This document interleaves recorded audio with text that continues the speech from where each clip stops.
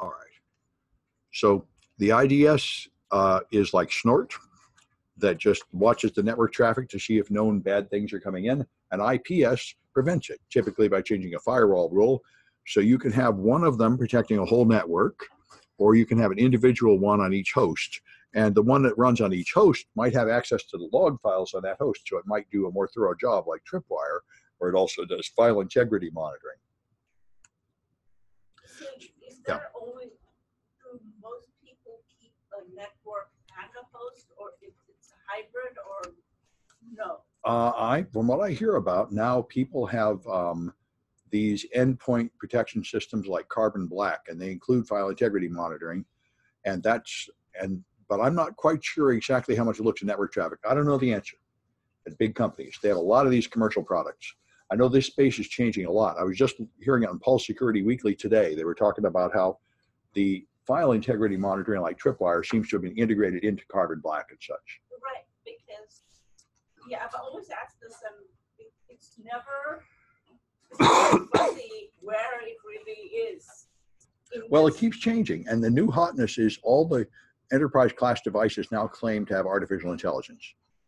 So, I- On top of it. yes, so it's not just a fixed set of rules, it's actually learning what your normal traffic is and noticing what's not normal or something like that. And I'm not quite sure how well that works. I would imagine it probably doesn't work very well yet, but it is coming. The only thing I have an issue or question with the AI one is that Yeah. how who is validating whether what they're reporting is correct or not. Well, I know, and that's why what they claim is it's accurate enough to save your incident response team time by correctly finding the things you need to investigate. I um, that's what you, the goal would be. I kind of doubt they can really be up to doing that very well yet, but I haven't played with them. They're expensive. Um, so you'd have your intrusion detection system out here. Um, monitor, this is what you do for just detection. You put in a network tap and make an extra copy of all the traffic, and then send it to your NIDS server, which would just detect everything without blocking it. That's um, that's the way you typically would use Splunk. You'd forward this to your SIEM system, and then the network intrusion detection system alerts would be part of the log files you're looking through. And that doesn't stop anything, but it means you can analyze what's been going on after the fact, after something alerts you to an intrusion. Here's the NIPS, where it now comes back and sends signals over to the firewall and actually blocks certain things. So, this Yeah. must, this is uh, slower than the, well, I don't think it's necessarily slower, but it is kind of dangerous because an attacker can figure this out and use your uh, your NIPS against you. They can send an attack that appears to come from a customer to make you block that customer. That's why this is uh, considered somewhat risky. It creates a DOS vulnerability. And so the simple kind is pattern matching. That's what Snort does. It just has rules, and if you match the rule, then it triggers an alert. Um, you can also look for protocol errors, and the more advanced thing is anomaly detection, where you somehow measure what normal traffic is and you trigger anything that deviates enough from normal. The problem is people do a lot of weird things on networks, and a lot of things happen that look really fishy that are in fact okay, and it's really hard for your system to. So these anomaly detection tends to have a lot of false positives and waste your time chasing down events that are not in fact problems. So you typically have an SIEM system somewhere which gathers all the information from all your sensors in one place so you can search it. And uh, this is now a very good idea. Now, the original plan was continuous monitoring. That was the old system where it was for compliance monitoring. You would continuously monitor to make sure that everything was updated and the patches were on and that you people were not installing unauthorized devices and they weren't opening new ports by turning on services. That was continuous security monitoring for compliance. And people thought that was great, but they discovered that that did not actually protect your network from getting hacked very well. Um, so the modern system is expecting to have um, all the defenses and the monitoring, and then you also need an IR team because you know that some people are going to punch through all that. And even though you have all these defenses, you are still going to have intrusions on your network, and you have to have a response when that happens. Data loss prevention, we talked about, that monitors your outgoing traffic to make sure that your secrets are not leaving the network. Endpoint security, like Norton Antivirus and Carbon Black and everything, uh, try to prevent your endpoints, which are usual entry point for attacks, are protected and detecting if people are downloading malware from email attachments and so on. Um, your antivirus typically works by blacklisting, trying to list all the bad things. One technique that sounds really great is application whitelisting. This is what F Secure does by default. Um, and it sounds wonderful to me. It's so much more logical to enumerate all the good processes and only let known good things run. What everyone in the business I've asked about this has told me is the reason this is not done much is because managing it turns out to be a nightmare. People keep having updates and patches and new applications, and it, it is really a drag to maintain the whitelist. Um, and of course, if you do this, then they have to keep going back to some kind of administrator for permission to run every new thing. So this is the way Apple protects the iPhone. You can't put anything on it except it comes from the official store and everything there is whitelisted. And that works fine if you're willing to accept the limitation of only using apps on the approved list. But it does mean whoever's running the approved list has to provide you with everything you need. And that turns out to be very burdensome. So you can have removal media controls. Of course, ever since Windows XP Service Pack 1, auto run has been disabled. So you don't just automatically run software when you plug in a USB. Uh, disk encryption is, of course, common, increasingly common. Um, and honeypots are when you add systems just to attract attackers. Um, some people love these things, other people think they're a waste of time. It's currently a bone of contention in the industry. Um, the only people that are sure you do this are people like antivirus companies that want malware samples. Um, but one simple thing to do is you have an address space and you're not using it all. So rather than throwing away all the traffic that goes to invalid addresses, you could just log the traffic that goes to the unused addresses because that's attacker traffic. Nobody would be going there unless they're scanning your network hunting for things. that's a very easy way to discover who's attacking your network. People scanning the unused address ranges are obviously up to no good, and you should just block them.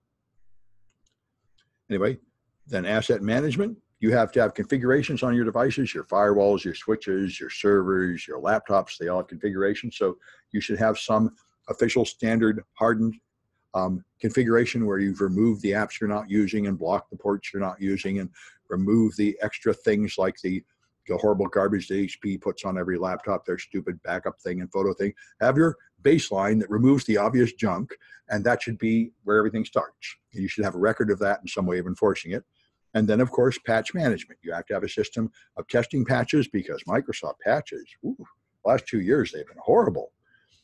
And at the same time, they try to force us to take automatic updates.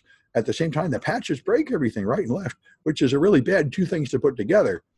Um, so you, you have to test the patch to make sure it isn't one of the bad ones. And then you have to push it out to make sure everybody gets it. And that is actually a really painful, difficult job because Microsoft quality control is so terrible anyway, um, uh, vulnerability management is where you run a vulnerability scanner like Nessus or something, and you try to find the vulnerabilities. There are, of course, vulnerabilities that your scanner does not know about. There are the zero days, and the nation states have them, and the advanced hackers have them, and you really can't do much about it.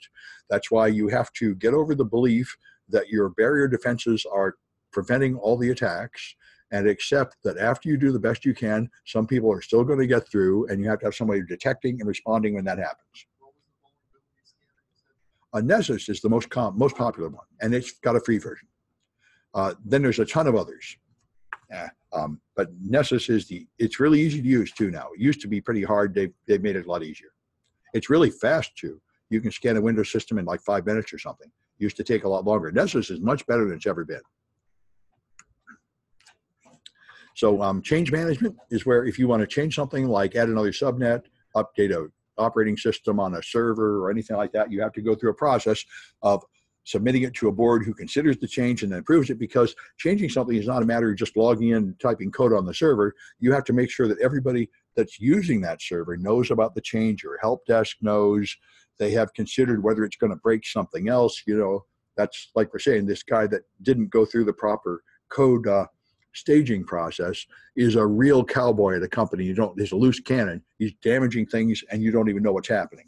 That's why you have this irritating process where you have to ask for permission to change things before you do it and then record it properly and then notify people properly about the change.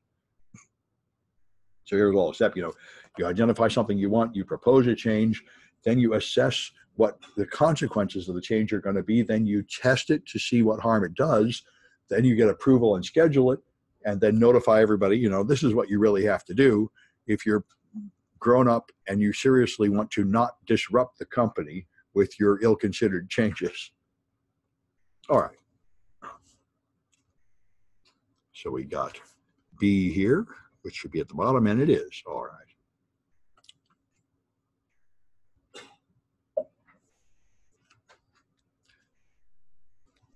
One of my students did HIPAA compliant or PCI compliance at a company, and one of the first things he found is everybody was just logging into the server as root all the time. And you and so that's one of the things you have to do is if you cannot do that. Everybody has to have their own account. So we have a log of what everybody did. So when a bad thing happens, we know that's one of the many things. Another step of maturity. You know, you can't be doing that. And you can't have people just going up and executing commands on the server and breaking things without having some kind of record of what's going on. It's, these are all the stages of maturity. And I know as a tech, technical geek, I find this, all oh, management's always just irritating with their stupid rules and procedures. But, you know, there's a reason for rules and procedures sometimes. Not at my college, but some management systems actually do accomplish something valuable.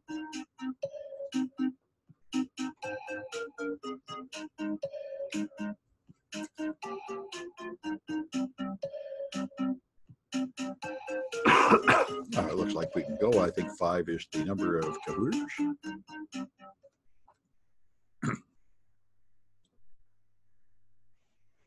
Right, so which defense presents PII from leaving the network? Personally identifiable information.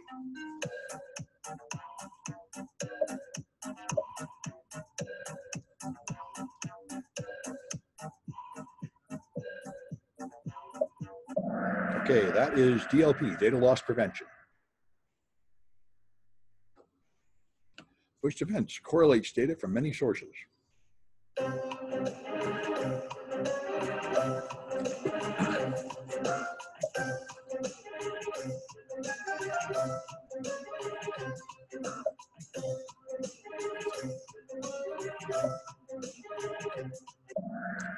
Your SIEM, Security Information and Event Management System. That's what Splunk is.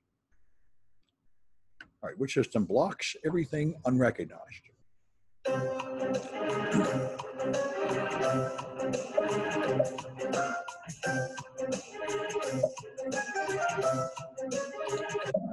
That's whitelisting.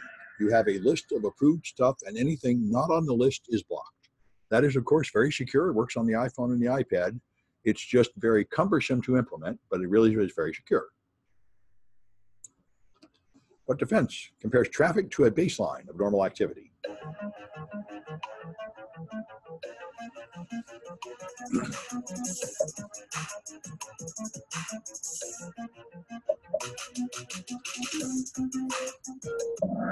That's anomaly detection. You somehow measure what's normal, and then you detect deviation from normals.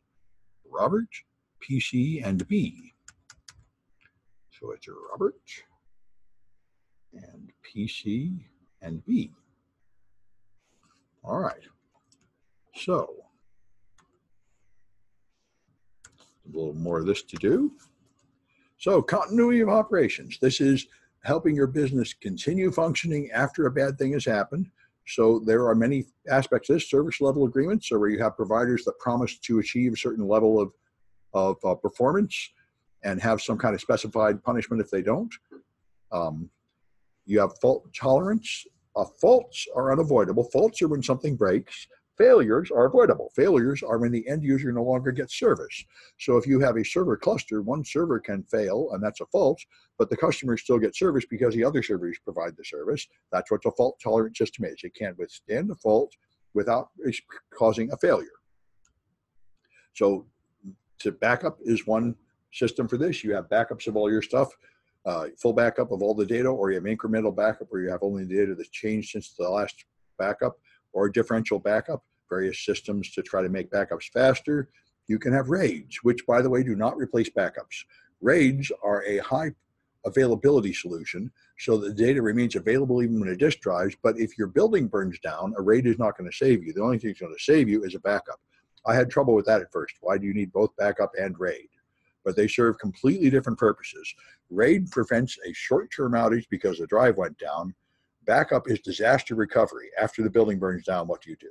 Anyway, so you have the many RAIDs. The stripe set just has the data spread across several volumes just so it can read and write faster, and it is not fault tolerant. A mirrored set is where you have two copies of all the data going on two identical drives, so it doubles the price of the drive.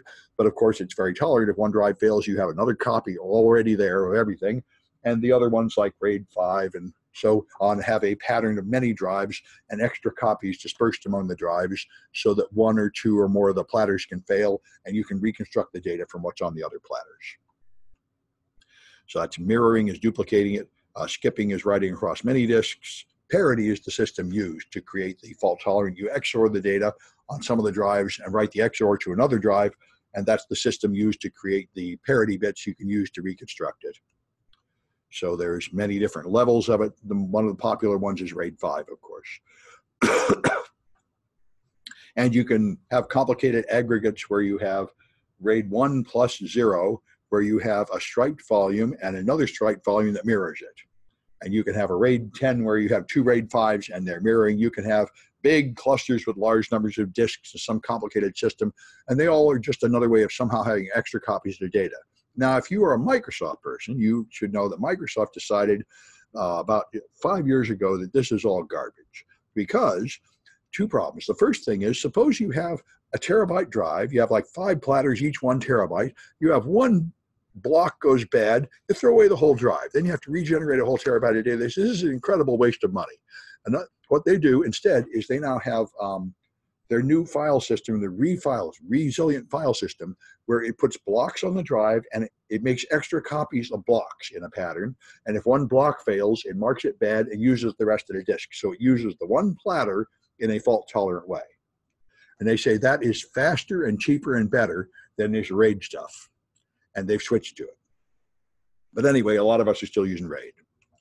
So in general, you have system redundancy beyond the hard drives. You have to have extra power supplies, extra network connections, extra firewalls. You know, you should just have no single anything. Everything should have an alternative system, and that's how you make a high availability cluster. So then you've got uh, business continuity planning will ensure that your business will continue during and after a disaster. So you have a strategic long-term plan of some way to move to another location or outsource or move some of your functions to a business partner or otherwise survive a disaster. The disaster recovery plan is one part of the business continuity plan. and this is how you deal with a specific disaster like an earthquake or a fire or something that causes one area to be destroyed. And so you've got a bunch of related plans. Your business continuity plan is a whole big thing how you're going to handle all these problems. The continuity operation plans focuses on how your IT will survive an IT disaster like a virus outbreak. You have your incident response plan for hack attacks. You have your disaster recovery plan here for things like earthquakes and fires. You got business resumption plan. And you got crisis communication plans. So you're telling everybody what they need to know, like you tell your employees what they need to know about should you not go to this building, but go to another building emergency plan for the occupants, what you do if the building is collapsing and the people are in there, you should have some place to take them and some way to count them and make sure they all got out and all that jazz. You know, all these are part of the business continuity plan. So as part of this planning, you have to determine the maximum tolerable downtime. How long can you do without certain parts of your business so you can just leave them take some time to recover them because it get really expensive to recover them quickly. You'd have to have something like a duplicate system in another location and network traffic constantly updating it. So you only want to do that for the things that you really need to recover very quickly. And the things where you can afford to wait a few days can wait until you dig up your backup tapes and play them and stuff. So you have natural causes like earthquakes, and then you have humans like terrorism and bombs and insider threats and disgruntled administrators that wipe out the drives and all that jazz and then power blackouts and so on. All these things, you should have a plan to handle all these things. So errors and omissions is the most common mistake. most of the time, big companies go down, like Amazon went down for four days about five years ago, and everyone said they got hacked, and Amazon said, no, we were trying to improve our fault tolerance. We had a load balancing system, and we switched to a new, better load balancing system, and we got it backwards. So instead of moving the traffic away from the busy server, it moved all the traffic to the most busy server and brought us down. And it took us four days to back it out and go back to the old one. And that's what usually happens. Usually things go down because your own staff does something wrong. so that's the most common reason. Anyway, of course, temperature and humidity will cause your stuff to crash and fail, and you have to have uh, the defenses against that. And there's all these other things, uh, warfare and terrorism and such. People don't worry about it much in America. In Europe, they worry about it a lot more. And there are data centers under the sea, in undersea domes, and there are data centers in old government uh, nuclear bomb shelters and behind in buildings behind fences. They've got things that promise they could survive a nuclear war and your data center would stay up. Um, I don't think people in America worry about that so much, but certainly lots. of, We have a lot of hurricanes and floods and stuff, and so a whole region might go out. In one of these classes I taught, I taught I the second CISSP class I ever taught was in Texas, and one of my students there were talking about five nines, and it had just been an outage at the five nine center in San Francisco, 365 Main, that was down for like two days. And five nines means you can only go down for five minutes a year. So going down for two days is a serious breach of your promise there. And they said, Did everyone leave? And they asked, No, they didn't leave because the fact is you can't get any better. Everyone promises five nines, nobody delivers it. So they all just waited in line and brought their stuff up and they didn't go somewhere else because there's nowhere better to go. And this guy said, I achieved it. He said, We worked at Hartford Insurance. And he said, Hartford Insurance is the only company he knows that actually achieved five nines. And the CEO is determined to do it. And he said, You have to overbuild by a factor of 10. So he said, They overbuilt the cooling. They had five data centers. They put them hundreds of miles apart. They said, We need like so many million gallons of water to cool everything. And the guy said, How much is a million gallons of water? He said, "Oh, How many swimming pools is that? Well, that's about two swimming pools. So they made a swimming pool and people could swim in it, but then they had to leave when they needed the water.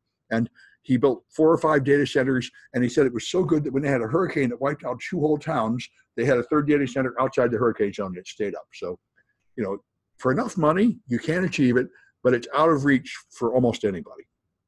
You get five nines. And now there's some clowns promising six nines.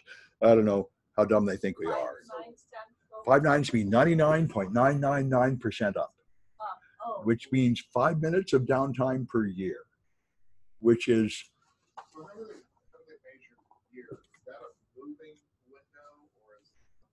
I don't know if anybody's ever got down to that level because nobody, as far as I know, has ever got within a factor of 10 of compliance. So the details have never mattered. My college, we get about two nines. Yeah. You know, two nines would mean you're down three days in a year. That's probably enough for most people. But if you're really Google or something, you'd probably like to get more. I'm just asking because like, okay, how do you measure that from today? And then. Well, I guess you could Because if you go back Yeah. up today, then. then you get back up to five. Yeah, it reminds me of, of like the, the Simpsons where they have this how many days since an accident counter and Yeah. like they've been doing this for political campaigns, like how many days since Elizabeth Warren said something stupid or Trump fired his cabinet members or something. Yes, like, that's one simple measure of quality. Would that number ever reach 100? 100 days since you did something awful. Anyway, then of course you got communications failures. You have line breaks, hurricanes, failures of the internet, failures of your phone network. So you got a plan you respond, you activate the team, you have to somehow communicate with your disaster recovery team members so they can come in. Then um, you assess the problem and reconstruct it. So you have to determine uh, how bad the damage is, decide whether the buildings are still safe to use or you have to evacuate the buildings. Then you have to communicate with your team, which may be difficult during a disaster, and they may have difficulty reaching your location during a disaster. So you have to have plans for that. And uh, then you assess um, the extent of the damage and determine um, what part of it needs to be fixed and on what schedule the broken things need to be fixed.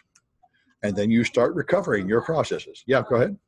Where it says activate team and communicate. Yeah. Um, that? Call trees. Yeah. Yeah, call tree is where you, I call you and you're going to call those three people and they're going to call those 10 people. That's one possible way to do it. Yeah. Good. All right. And uh, then you have a salvage team trying to recover the damaged stuff and save what's good from it. And uh, so that's your plan. And you know, one time I went and toured the AT and T. AT and T had a tour of their disaster recovery center, and it was very impressive. They had a bunch of trucks, and in the trucks were full of fiber optics and Cisco routers and power supplies. And another one was full of like sleeping quarters, and another one was full of like food and water. And they had about ten of these trucks, and they had an armed guard truck in front, and an armed guard truck behind, because that was like ten million dollars worth of Cisco routers in there. And they would drive this fleet of trucks, and they could drive into the middle of something like Katrina into an empty lot and in like two hours they connect these things one of them was a generator and they would have a working cell phone tower in the middle of a disaster. And that's what they have to do right because everything is broken and you got nothing so you got to get the cell phone network back up. So that's how at&t does it anyway. All right so we got uh, hc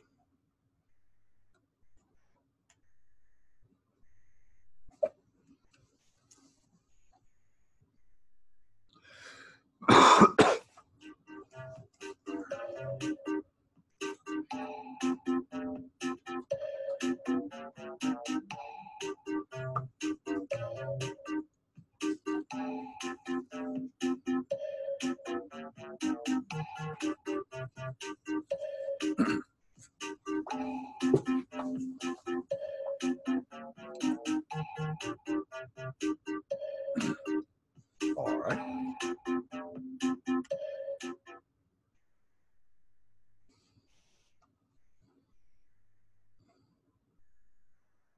So what kind of array does not have fault tolerance?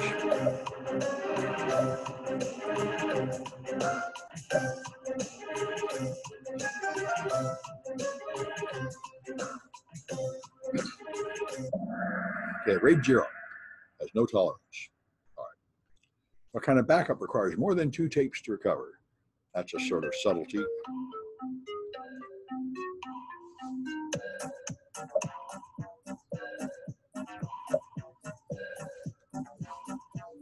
Remember this for my old, uh, this was on my Net Plus and my A Plus and Microsoft exams. I'm not sure I saw it on a CISSP exam, but that's the thing. The difference between differential and incremental. Differential is where you make a full backup, and every other backup is how much has changed since that one. But incremental is where you have a full backup, and on Friday, and then on Monday, you make the difference from that. And on Tuesday, you make the difference from Monday, and Wednesday, you make the difference from Thursday. So if you try to reconstruct the way it was on Wednesday, you have to play four tapes. So if any of your tapes are lost or corrupted, you lose the ability to recover certain days. But it has the minimum amount of tape. And this is for people who have a lot of data and not the ability to make fast backups. I don't know if people really do this anymore because there are new modern options like continuous backup over the internet and, and mirroring and stuff. These are the old rules from the old uh, Microsoft rules of options for backing up to tapes. I, I suppose some people still do it. But anyway, um, Is that what Time Machine does? No, Time Machine, I think, is continuous backup uh, on OneDrive. You, you, everything you do is supposedly make a copy right there. It's just not far away. Therefore, that's not offsite backup. And that's a problem because whatever happens to your laptop will probably happen to your Time Machine drive too. Like the most likely thing I would think is someone will steal your backpack. And then what good would Time Machine do you? I think the only real value of Time Machine is to prevent user error. If you actually delete something, there'll be a backup there. All right, so what kind of server cluster uses all the servers all the time? I think I skipped past this.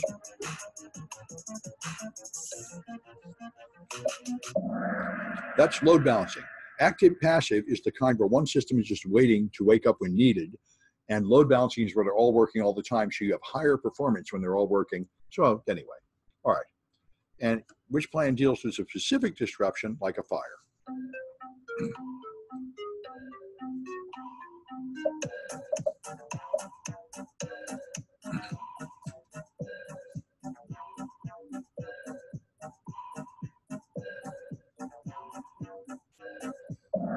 That's the disaster recovery plan. Disaster, a disaster recovery plan for fire and one for an earthquake and so on. It's the little tactical plan to deal with one problem. So B, PC, and Robert. B, and PC, and Robert. Okay. So we got time to carry on. We shall do so. All right, so to develop these glorious plans, the business continuity plan and the disaster recovery plan, you have to decide you're going to do it. Then you have to determine your scope, which can be quite difficult. There's a common issue of scope creep also in web design where you start a plan and then partway through they decide, oh, you should add this and add this and add this. And that's, of course, a problem. Then you have to do a business impact analysis where you determine how important all the parts of your business are. And then you identify controls, make a strategy, make a plan, and then you have to implement and test your plan. And then you have to have maintenance of your plan because your plan will go out of date as things change. So if you don't keep constantly checking to see what changes are needed in the plan, it will turn out not to really reflect the reality when your disaster hits. So your initiation, you got to have a policy, business impact analysis determines how critical your systems are, and then you're going to go through these same steps here. So here's a diagram of it all. Um, you got the C-level managers that determine your policy. Our company will survive a disaster or something. Then you have the stakeholders have to go to a meeting. All the HR and the lawyers and the technical people and everybody have to get together and make sure that all their concerns have been addressed. Then you get preventive controls, things that are going to hopefully prevent us from having disaster like antivirus, so hopefully limit things. And then you have recovery plans here, and those guys have to be managers that are capable of allocating resources and spending money because it's going to cost money to implement these plans. And so then you've got, uh, that's what they're doing here. And they're going to specify the plans for how you're going to do it. As you'll see this over and over again, and you're going to hear it again at lunch, you always need top level management buy-in for your security policy. If you don't have it, just you're wasting your time. Implementing security policies ta- and takes money and you have to have top level buy-in that supports you and is willing to allocate resources to what you're doing or you are just wasting your time. You cannot create security from bottom up. Um, uh, ceo cio that. The name starts with c yeah. Good okay yeah it doesn't mean they got a c in class although the two frequently go together when I, I the, the old british system you were supposed to get a gentleman's C. It was considered a failure to get a high grade in class because it meant you were spending too much time in the books and not enough time going to parties and meetings and making connections, which are what would really matter as you moved ahead. And that is probably still true.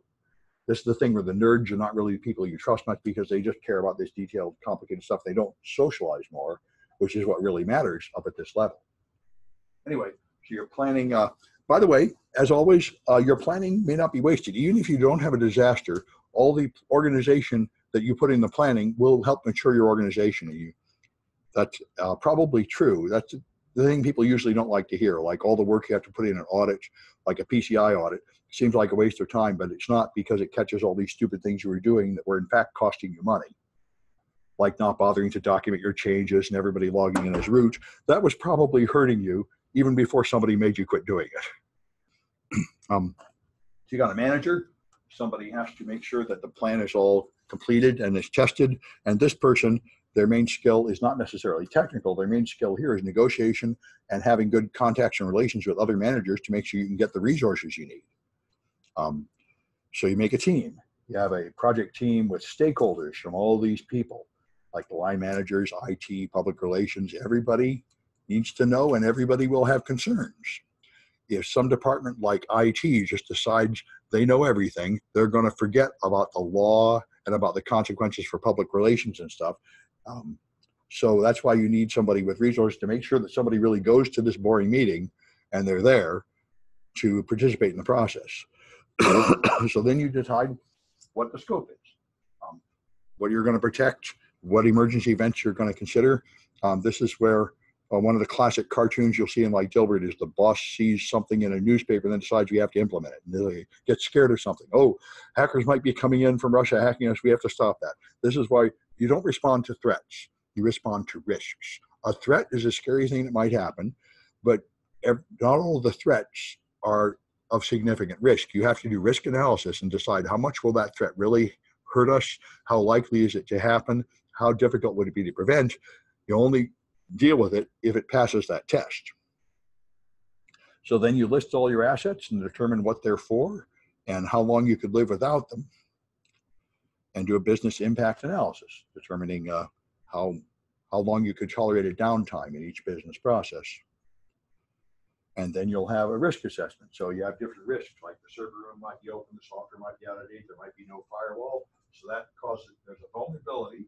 And so there's a business impact analysis of how much that would hurt you. And then there are possible mitigations to lower those risks. And now you can compare the cost of those mitigations to the cost of not mitigating it and decide which of these are worth doing.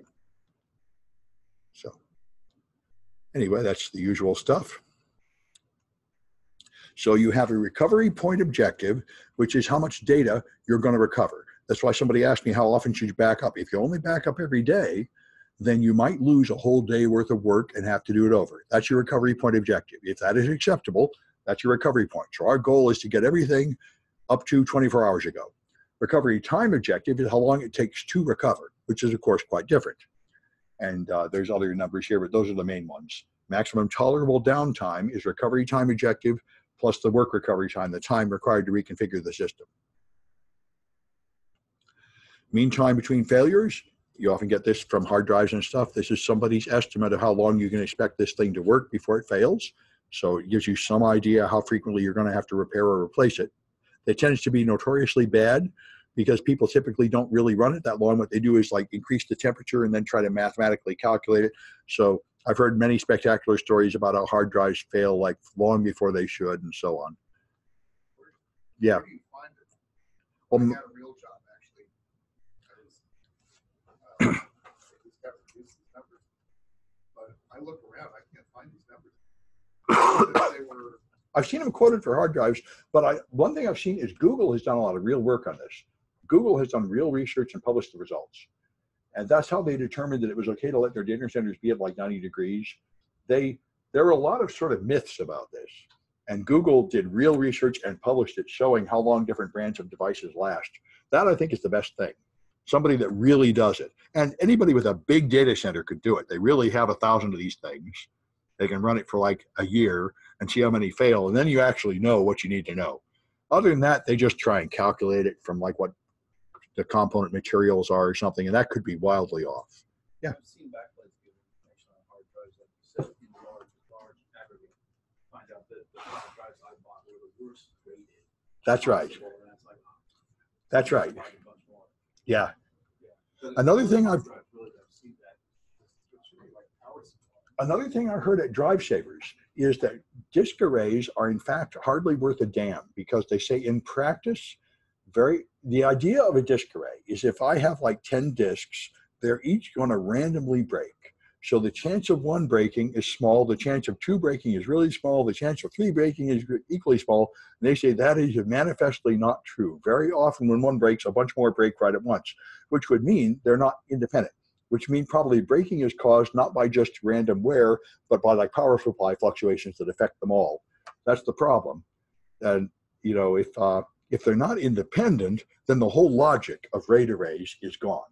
And the um, I thought it was funny. I went to Disk Drive Savers for a tour, and I told them, "Well, I back up my stuff to the cloud." And they say, "Yeah, uh, I'm not allowed to mention the brand names, but all those cloud providers are coming to us." because all their arrays are failing and we're recovering this emergency. You think you're backing up your stuff to the cloud? Uh, uh, well, that's not what you think it is. I don't want to hear that.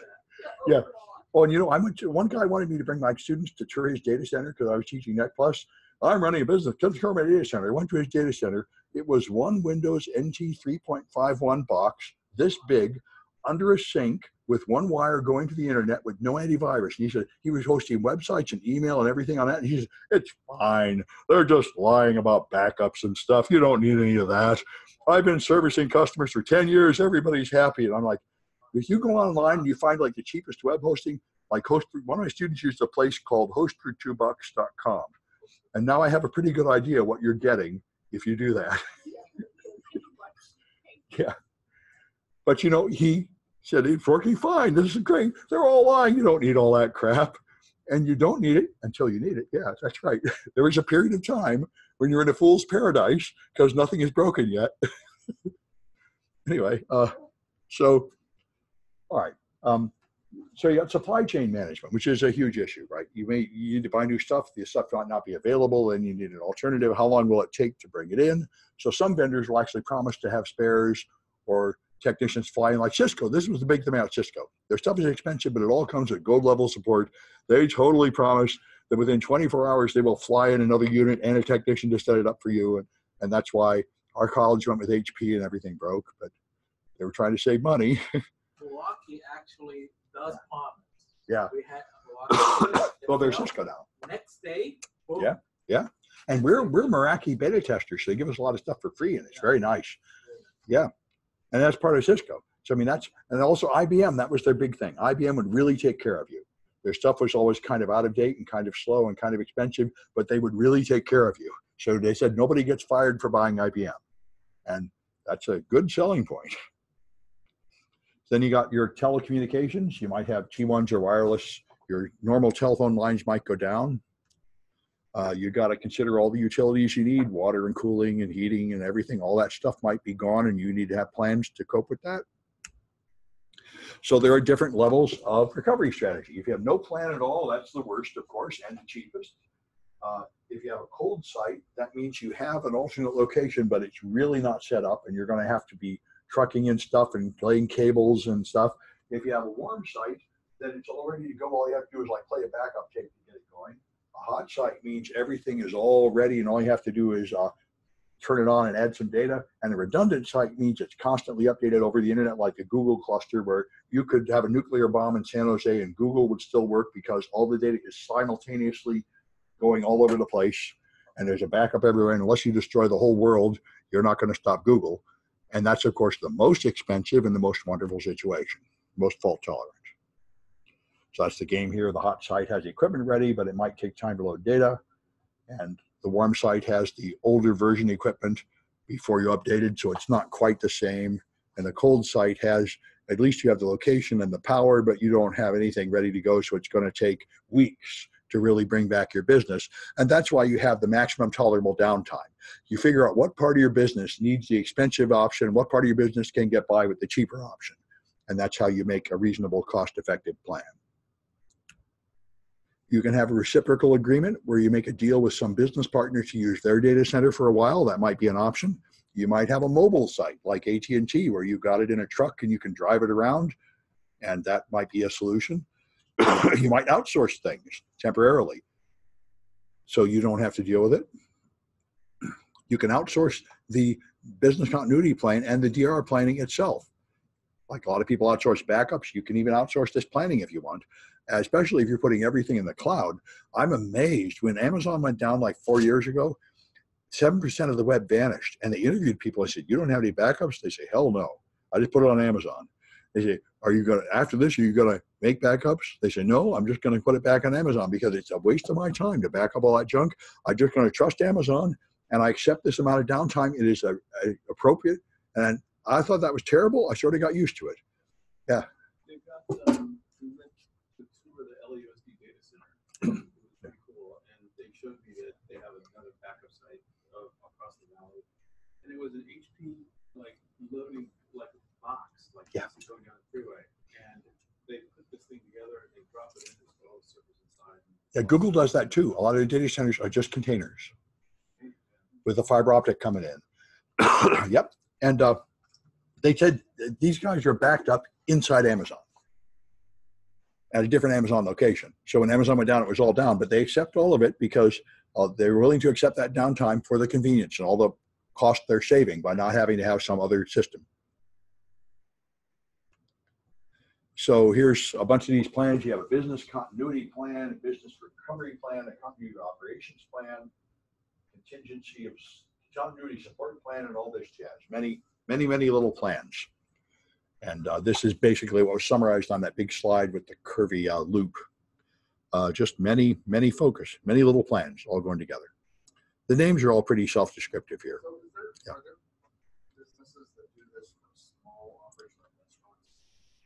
Well, yeah, if you're like a small restaurant, you obviously can't do all this. And so what you probably would do is just outsource all your IT to somebody else. And um, your only real issue would be uh, to determine if the building burns down or something. I mean, you could do it in your own small way. That's why you know, all this is what the big corporations do all this. Small businesses will have much smaller versions of this. Most small businesses don't have a disaster recovery plan at all. They're just hoping not to have a disaster. So, uh, I mean, the question, they probably do have a plan for like if the cook gets sick, but if the building burns down, they're probably going to give up and just buy another building. Um, so, I mean, if you're really just a single location shop, I don't think any of this would apply to you. But the only time it would make sense is if you're getting bigger.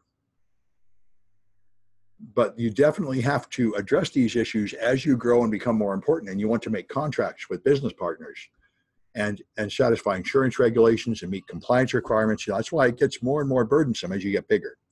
So if you want to be a small player, you don't have to bother with this.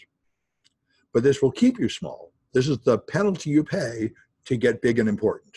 You have to actually play in the big leagues. You have to play the big complicated game now.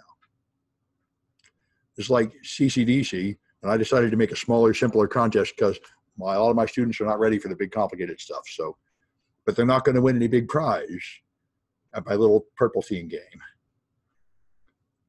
So there's your continuity operations is to move your personnel to an opposite, an alternate site, and you have continuity of support for IT, and you have an incident response plan we talked about for cyber attacks, um, occupant emergency to protect the people, and crisis management plan to handle the message traffic between people so everybody knows what's going on. And that includes your communication plan and your call trees and so on. Uh, just a way to reach all the people in some planned, organized way. And then, of course, you have succession planning. The military is good at this. They totally know if one guy dies, who's the boss now? And your corporation needs to have the same issue. If one guy is somehow unavailable or because of the disaster or injured or something, who's the boss now and who's going to make decisions? And are they really ready to make decisions? And that's uh, that's another aspect of maturity. I remember the company I worked at, there was a issue of checks that were the wrong amounts. So the boss decided there will never be any checks issued unless this one guy approves it forever. He created a single point of failure, and that was his idea of solving the problem. And that seemed to work for that company, but I was sort of disgusted personally from a logical point of view. Um, that's the opposite of this. There was no succession plan. All right.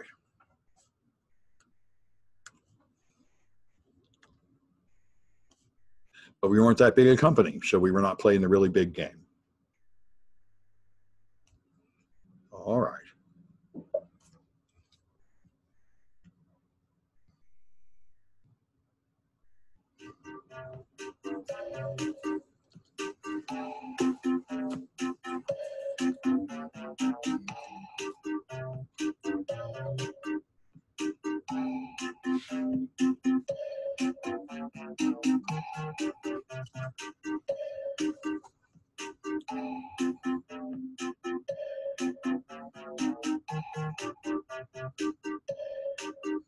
Is somebody still coming in? I expected five anyway. You coming? You're not going to do it?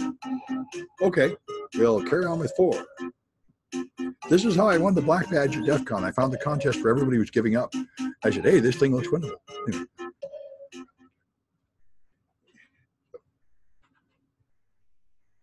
All right, so uh, which value measures the maximum time needed to recover systems?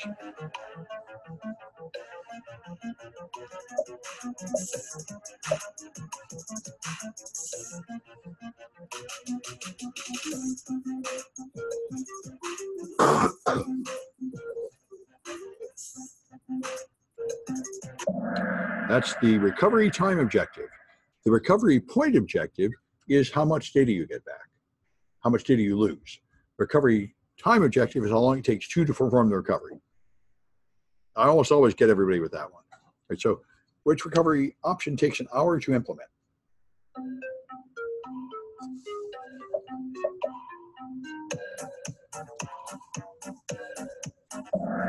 That's the hot site. And the redundant site is the one that's ready right away. All right. Which process uses somebody else's data center?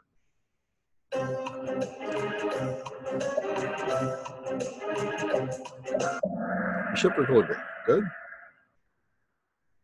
Which plan protects human life?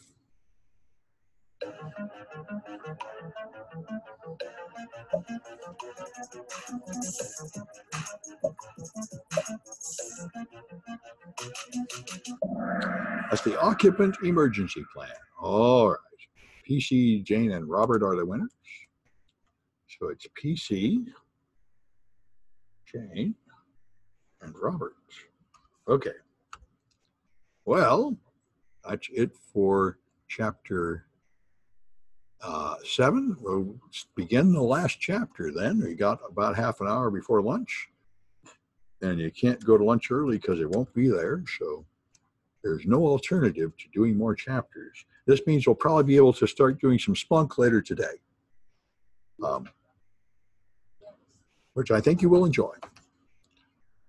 As long as you understand that it's not part of the CISSP exam. But it is pretty good stuff to know.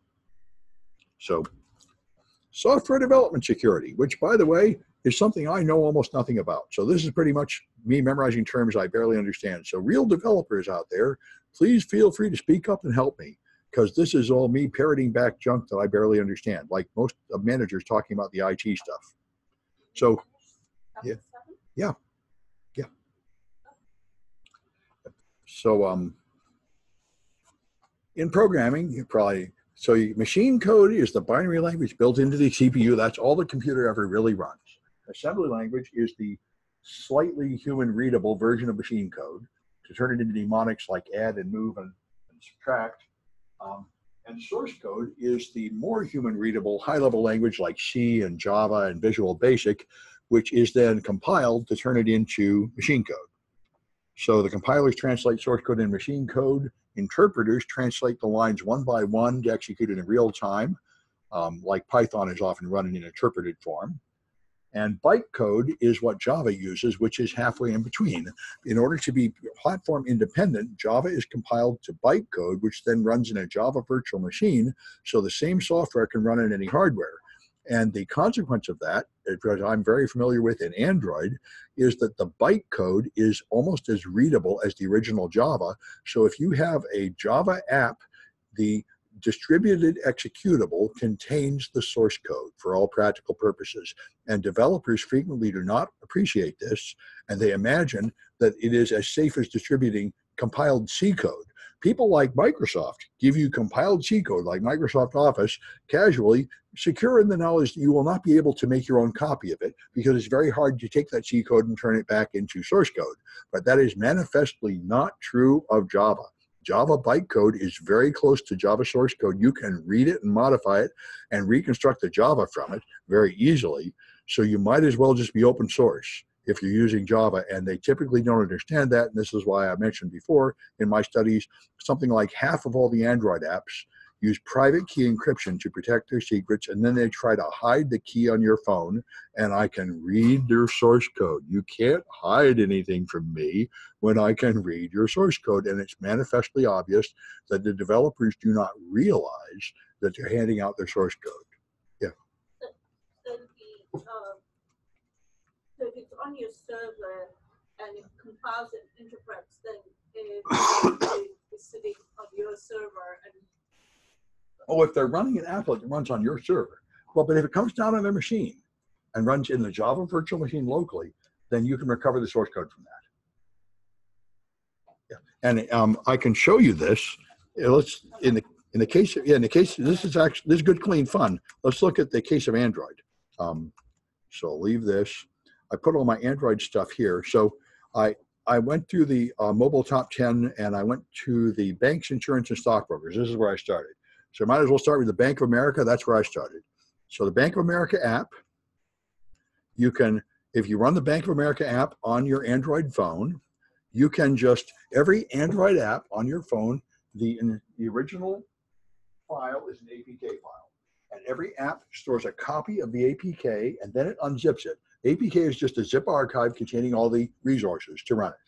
And you can pull it off the phone and you can open it with a tool called APK tool and it will just unpack it. And now you have 4,000 folders, and you can now, this contains basically the source code. I'll have, here's what it looks like. This is Java bytecode. It's called Smali code in the Android system. And so it has, this is the original Java line number, and this is what it is. Set object, set, this sets a variable named debit. This sets a variable called set account type, set card number. It's a little funny looking, but it's very readable.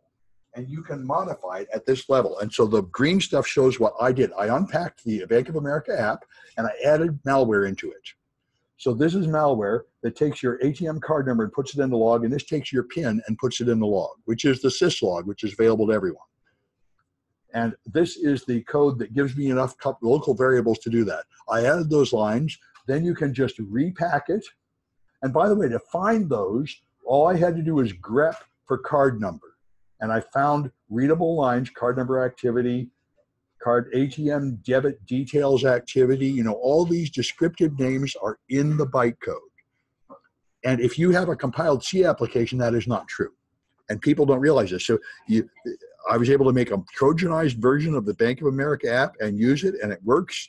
And the passwords go in the log, credit card number. So, and I sent this to Bank of America, and they don't care. They didn't even answer me. And this is true of almost every app. They're all vulnerable. This this this vulnerability I'm describing is M10. There are uh, OWASP top 10 is here, and uh, here's the top 10 risks. And this is the most common one of all: lack of binary protections. You're distributing the source code with your app, and you don't know that. And therefore, anybody can make a modified version of the app. If you want a secure app, get the NFL app. The NFL put out an app and it was totally insecure and sent your password in plain text. So some security researcher wrote a blog about it and they were humiliated. So they actually improved their security. So now the NFL app is far more secure than any app from a bank, insurance company, or anybody important. They, you can't, the NFL app checks integrity. When you launch the app, it checks to see if it's been modified. And if it has, it just pops up a box saying you must update your app before you can connect to our server. That is very easy to do, but the Bank of America just can't be bothered. I shouldn't be allowed to modify code. Android code is signed. They didn't change? They never did anything. In fact, they didn't answer me for about a year. And then when I went to B-Sides in Las Vegas, um, three of these bank security officers came to grab me on the line privately and say, we want you to stop bad mouthing the Bank of America. And I said, oh, you're the security officer. Shh, you can't say I was here. You can't use my name. I'm not allowed to admit that I go to these evil hacker conferences. But but we don't want you to stop bad mouthing the Bank of America. And I said, well, are you going to fix it? And he said, no. And I said, well, then we got a problem. but they don't care. The only thing I found that they're willing to fix is when they break HTTPS, because you can actually get hurt for that. The FTC actually punished two companies for doing that. But um, although it did take, when I, anyway, I had a real adventure notifying these guys about these things. Uh, There's no vulnerability disclosure process to any of these companies at all. If you find a problem, just forget it. There's no way to reach anybody. There's no email, there's nothing. The only thing I was able to do is find the CEO of the company on Twitter. And I discovered this. If you contact the CEO of Bank America or Schwab on Twitter and say, please follow me for direct message, he will do it. Of course, I hate doing that because anybody can tell what I'm saying. There's only one thing I could possibly have to say to a person like that. yeah, why? Because my brother was in charge of Bank of America House, uh, Yeah. and this must not have gone off the chain. Well, no, I think this is considered industry standard. Right, but it mustn't have come up the chain. I- They must, the IT people, whoever you contacted, didn't come up, because whenever I sent him something, it gets done. I wish I, Yeah, he well- doesn't work there. Well, these are still these are still true. I'm still still my homework to hack into the Bank of America. Good, yeah. Yeah, So so is that compiled differently then? It's- it's- so Yes, iOS compiles to native code, so- and it's as secure as this. This is a problem with using Java, which, by the way, Well, landed. encrypted this, if you encrypt the disk, um, I don't think it would do anything at all about this for the same reason it would do no nothing on a server because you use when the phone is running, it's decrypting the disk, and I get this from the running phone. Isn't the iOS like, you know, certificate that they can revoke? Yes. Uh, here's see in iOS there are several defenses. The first thing is it's really written in C++ or Forth or something and really compiled, so the end result is much less readable. In the second place, if I make a modified iOS app, I can't get it onto your phone because you can only put on apps from the official store, and Apple won't let me put it in a store. So there are defenses, primarily administrative defenses, but Android has none of that. Now, the only defense it has is I could not call it an update and update the existing app because it has a signature. The signature is self-signed, so I can make a signature just as good, but it won't let you put on an update unless it has the same signature. And I can't reproduce the Bank of America signature because I don't have their private key. So I would have to social engineer you into removing the old app and putting on mine. But I, but or I would have to target people that don't have the old app. And of course, the people most vulnerable to that are the Chinese because they block access to Google, so they cannot get to the real Android Play Store. So they have to load everything from unauthorized third-party Play stores. So I can just put Poison apps in Play Store, and since Google doesn't doesn't uh, control the Play Store with a dam because they don't verify who people are. So the first banking first bank to put their app in the Play Store, they had a banking app, and then somebody called the bank to complain about it. And they said, "We don't have an app. It wasn't from that bank." Some enterprising black hat made a fake bank app. This happened to me. After this, I did airlines. I did like the top 10 or 20 airlines, and I found the Spirit airline apps, and it was a piece of crap. It sent your password up in plain text. And I said, hey, man, your, your own website is HTTPS, and you still let your app send it up in HTTP. What's wrong with you? So I sent him an email. They said, we don't have an app. And I'm like, well, I got news for you. Somebody put up a Spirit airline app. And by the way, it's insecure. But they said, we don't care. That's not our app. And I said, well, gee, I, I kind of feel like you should care, but I suppose you've got a point. So they're supposed not to have it. well, yeah, I guess. But all you have is a Gmail address. Somebody's You don't even know who's putting anything in the Android Play Store. Supposedly Spirit Airline custom. I know, I know. This might, well, that's true. Well, it. I'm like, why, my goodness. That is- but here's another thing they can't really do anything about it. They don't have the signature. What they can do is complain to Google or something. But I, then I found um, the all the top um, universities had the problem. The Air Force Academy, West Point Academy, they were all using apps made by a company called Straxus, and they broke HTTPS in all cases, and they had their own browser that did it. So you and they had social networking links in there, so I could steal Facebook passwords and Gmail passwords from the app. And I thought this is really getting kind of thick when Google will put apps in the Play Store that I can use to steal Google passwords. I would think they would care.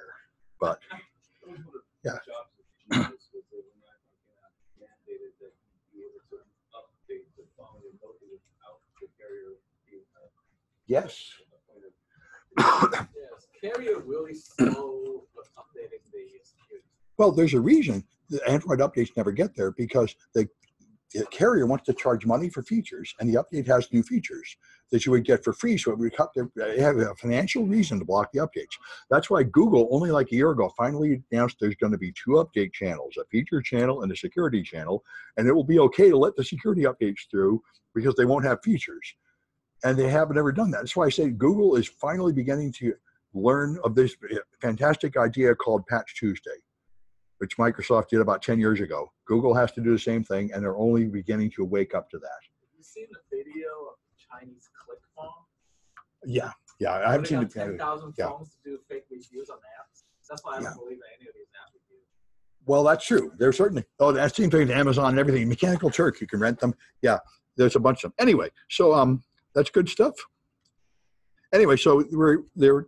This is software security. Um, so you got procedural languages where you have subroutines like C and Fortran. You got object-oriented languages like uh, Python and Ruby and C++ that let you create these abstract data structures and objects that can have other objects inherit from them. Metasploit is written in Ruby. Metasploit, the common hacking tool, and it's very easy to read. Ruby is quite popular, and now everyone seems to be loving Go. Go is the new hotness. I guess I'll have to learn Go. Um, so the fourth generation programming languages, of course, are ones that automatically generate code with AI. This is coming very fast. So it will. Uh, there are various programs up here that will try to create code on the fly in various ways. These are not AI yet, but AI is definitely coming. And the original use of AI, they say, will be assistants. Like you used to have Clippy that would help you write a document. You're going to have more and more automated environments that write more and more of the code for you. Um, so Case uh, is programs that assist in the creation and maintenance of other um, tools. There's tools that support one task, workbenches, and then environments like Visual Studio that give you everything to help you drag and drop and build code in a friendly environment. I was surprised Microsoft has been trumpeting Windows subsystem for Linux. So you can run a bash command prompt on the command prompt. And I, a guy came and visited, uh, a visiting talk at my college that invented a Pengwin, a Linux version just for that. And he said he's employing four full-time programmers as the enterprise customers buying it because there apparently is a real market of people who want to write Linux software in Visual Studio on Windows because they love Windows and they love that environment and they don't want to use Linux. And to me, this sounds like you're a lunatic if you want to write Linux software. Why don't you just get a Linux virtual machine? But they really want to live in the Microsoft Windows developer environment and they want to write and debug Linux code on Windows. And Microsoft is now supporting this. So the difference between Linux and Windows is blurring and it's going to blur more and more and more as we go forward. Yeah, Actually, that install. It's actually pretty good. Yeah. It's getting much better than it used to be. And the latest version supposedly can go right to the hardware. So you can finally run things like Nmap in it. So uh, apparently the Microsoft used to be very hostile at the Linux and they are really embracing Linux now and getting over it. So you have top-down programming where you start with a high-level description of what you want and then you write the modules. And then you have bottom-up where you start with the detailed routines and then build something out of it. Um, you can have closed source code like Microsoft Office, where the code is a industrial secret and they try to protect it. And all you get is the compiled files, and they rely on the fact that you cannot easily reverse the compilation to get the source code. And you have open source, where you deliberately uh, hand out the source code.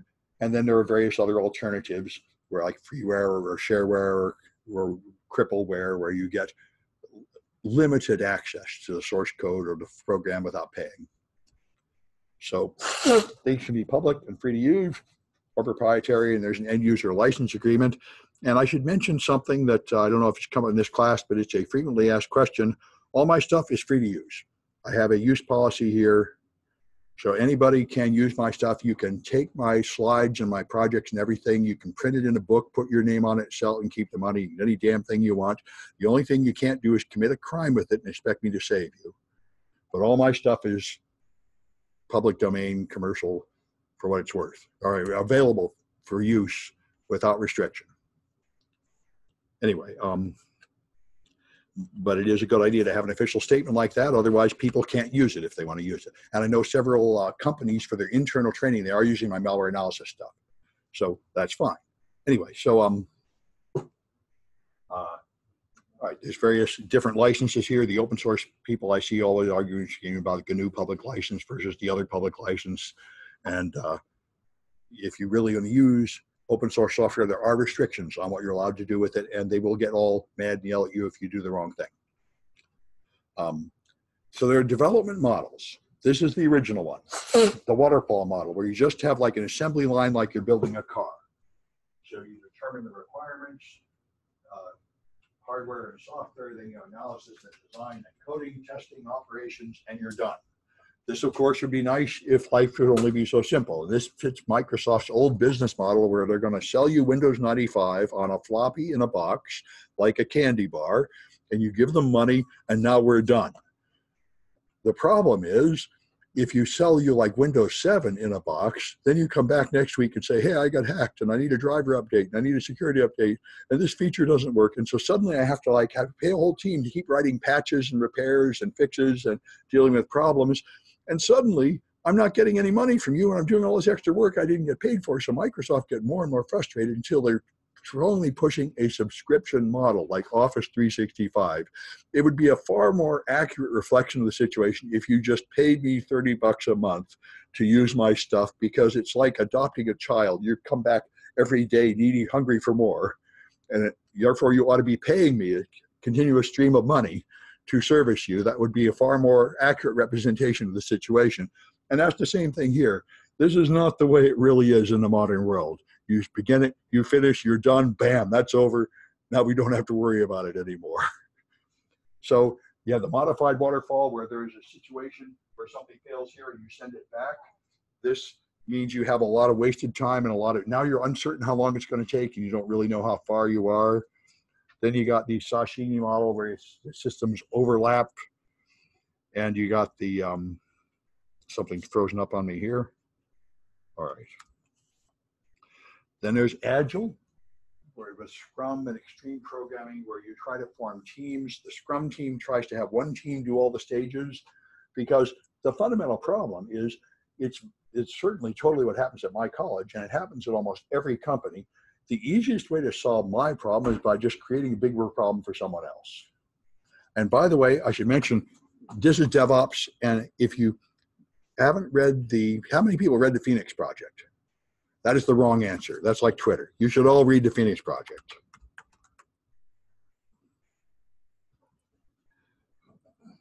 This is it. Okay. Um, let's go to Amazon. I'm going to go Experience Phoenix Project.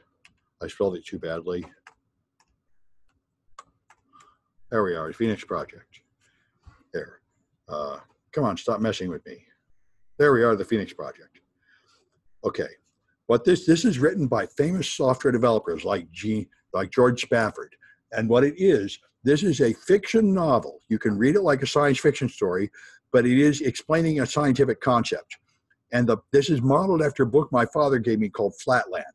Flatland explained what two dimensions was and what three dimensions was for geometry in the form of like a science fiction story. This explains what DevOps is. I never understood DevOps till I read this book, and it made it so wonderful and clear, and it's so fun to read and easy. Every student should read this, and every teacher should read this. This is fantastic.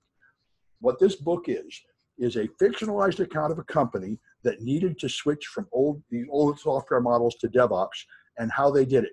And it is the thing that is scary is when I read this, it's exactly what happened at my college and all the businesses. Everybody thinks, you know, they talk about people that do something like uh, survive rape or something. They all feel miserable. They feel like they're the only one. They don't know that everybody else is suffering just the same. Every company has the same problems and nobody knows this. So in this book, this guy is an auto plant company. So the, they hire a new develop a new top level executive to up this place that's not working very well. The current situation, we have a software product that goes to hardware stores where they sell our parts. And the software product is like a year out of date.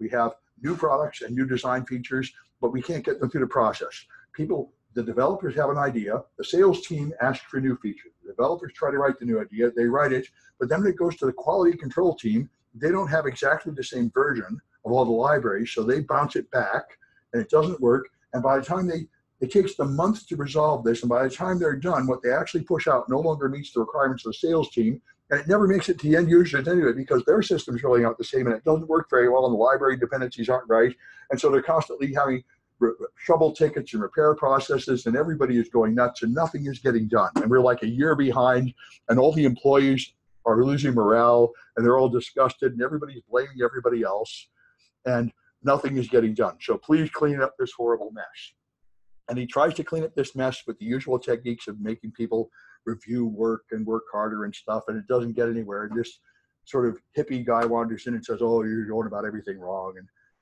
you got to do it another way." And the way to do it is you have to reorganize the whole system so that he said you have to make the flow chart and determine how work passes from one step to another, and then you have to make it so everybody understands. If I am the developer, then my customer is the quality control team and they have to be happy with what I produce. Whoever is the next step in line is your customer.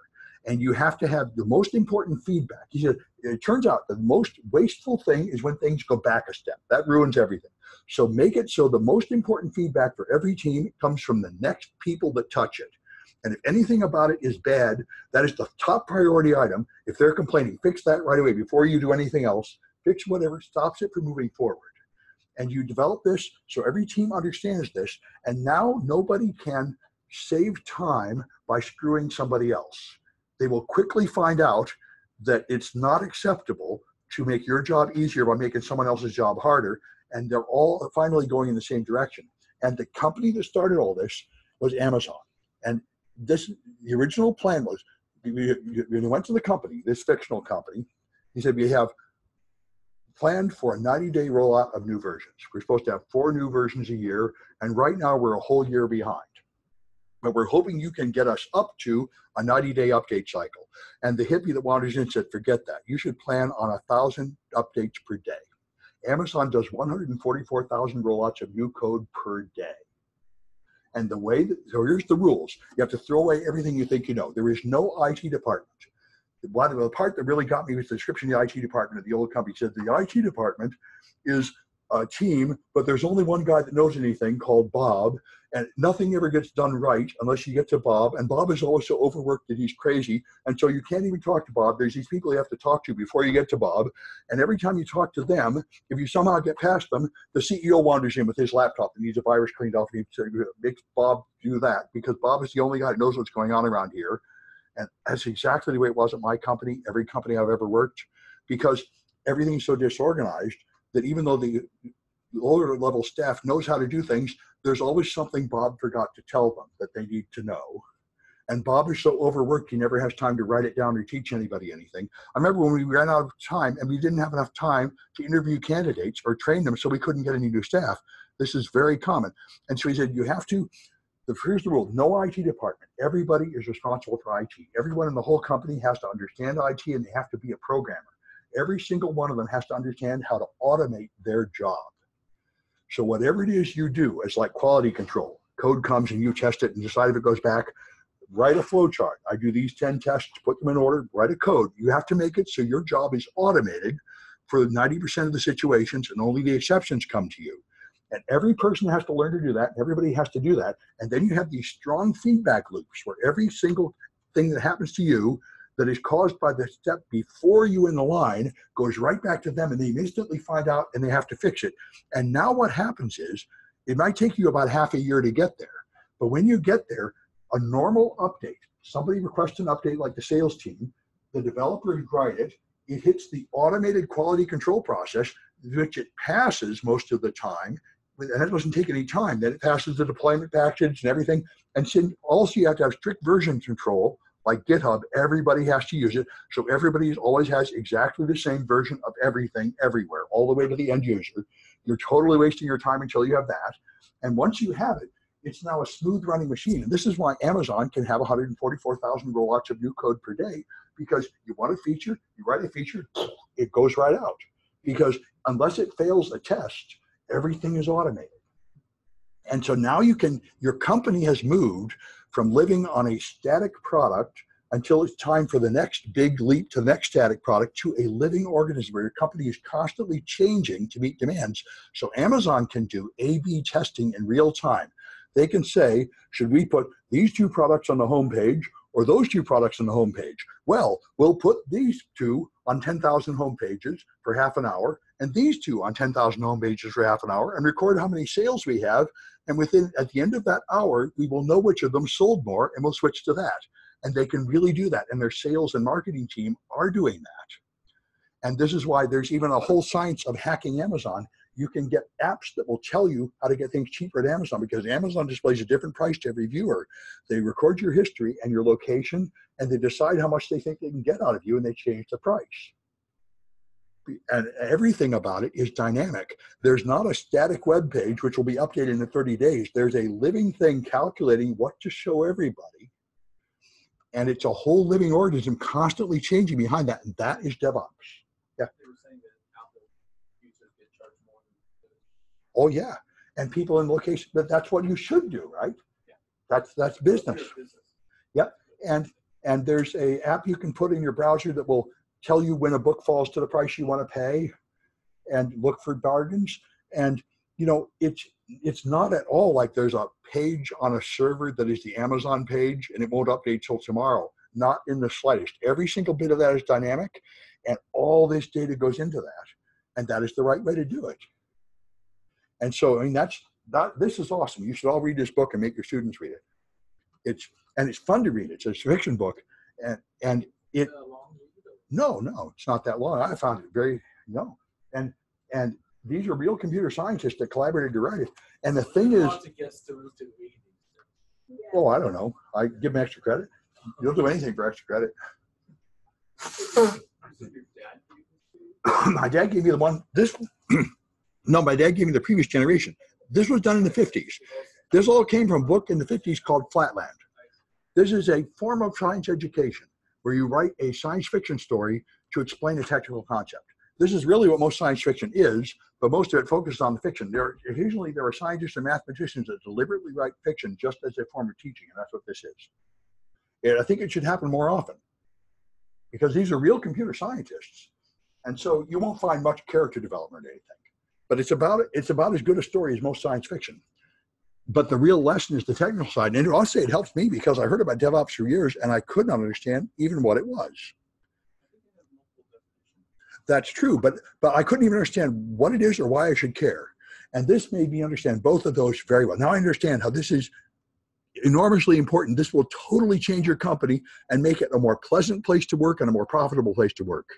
Now all the people are not frustrated. They're happy to have this exciting company where good things are happening and they're succeeding.